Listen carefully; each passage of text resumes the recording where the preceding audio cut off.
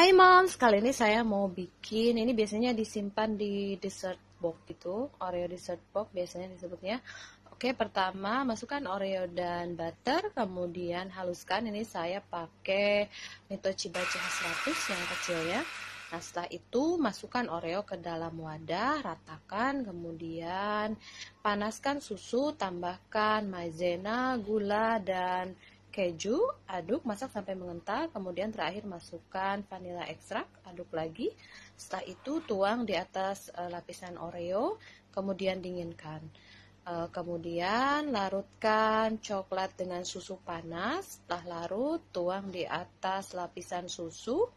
Nah, setelah itu kita kasih Oreo di atasnya, kemudian didinginkan. Nah, ini dia hasilnya ya, moms. Ini enak banget, lembut, coklatnya kerasa banget, bener-bener enak. Selamat mencoba!